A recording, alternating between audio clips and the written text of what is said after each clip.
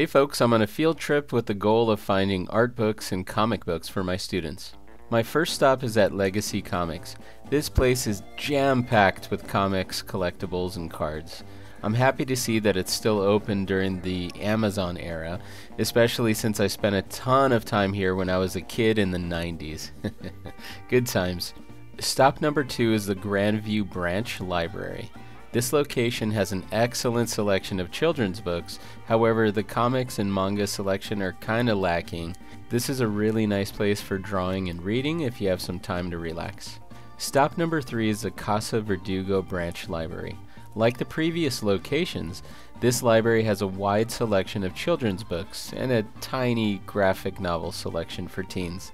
The space is really inviting and it has excellent lighting, and I would spend a lot of time reading and drawing here. Stop number four is the Pacific Park Branch Library.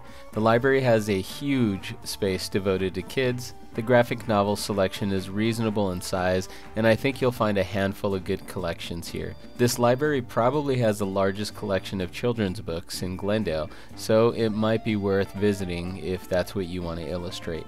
Stop number five is the Brand Library. This gorgeous library is a treat to visit, and it's tucked next to a bunch of hiking trails. While the comic book selection here is lacking, this library has a huge selection of art books. This is definitely a must if you're going to art school in the Los Angeles area. You could spend hours here. They've even got a decent selection of children's books.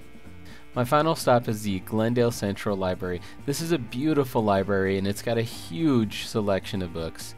I would strongly recommend coming here and spending tons of time because their manga selection is huge. They've got a ton of variety of additional comics and I think this is a great place to just come and discover titles that you haven't heard of. So as I wrap up this video, I just want to point out that it's pretty easy to map locations to find art books and comic books. Whether you choose to support a local business or take advantage of the public library system, there are a ton of options in your community. Do me a favor, go find some books. Thanks for watching. Bye.